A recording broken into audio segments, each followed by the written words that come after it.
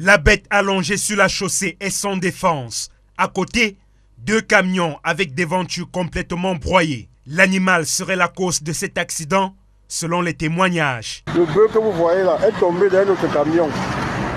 Comme il est tombé là, il a cassé ses deux pieds. Il ne peut pas bouger. Le camion qui venait après a freiné quand les bœufs étaient en train de passer. Il a cogné un bœuf.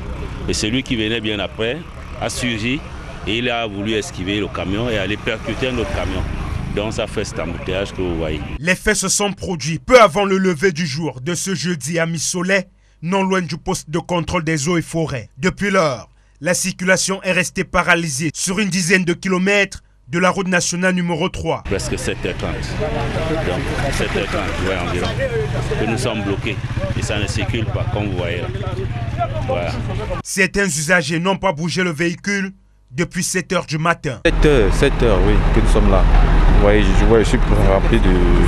Je suis rempli de, de sueur là. J'ai commencé à marcher que j'avais d'autres choses à faire. Pris également dans le piège de ces embouteillages, le ministre de l'eau et de l'énergie.